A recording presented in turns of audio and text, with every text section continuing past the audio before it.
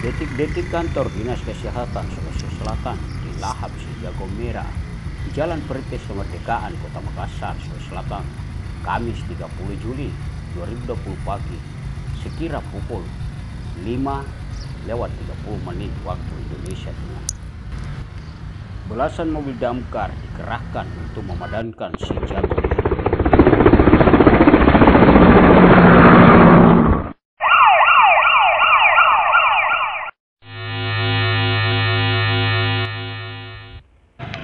Saat kebakaran ini terjadi, sejumlah unit mobil pemadam kebakaran asal segera dikerahkan ke lokasi kebakaran.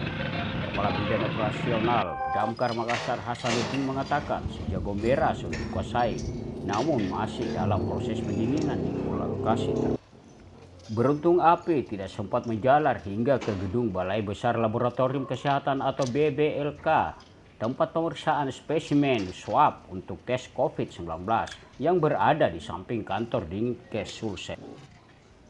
Data yang diperoleh, sejumlah ruangan yang terbakar di lantai dua itu adalah ruangan kepala dinas, ruangan kepala layanan dan sumber daya kesehatan atau PSDK, ruangan bagian keuangan, ruangan program dan ruangan penyimpanan data.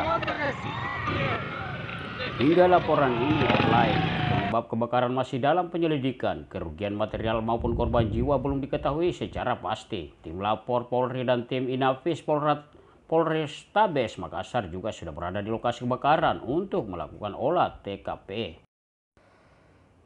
Waspada guys, jangan sampai kebakaran terulang terjadi di musim kemarau panjang ini. Semoga semuanya sehat, jaga jarak dan kesehatan.